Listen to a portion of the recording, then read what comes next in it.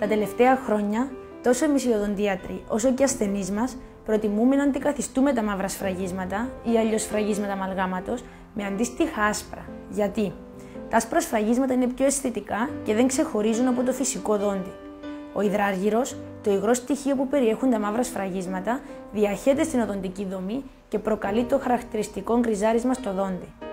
Έρευνες έχουν δείξει πως η παραμονή πολλών μαύρων σφραγισμάτων στο στόμα λόγω του υδραργύρου πιθανόν να είναι επικίνδυνη για τον οργανισμό.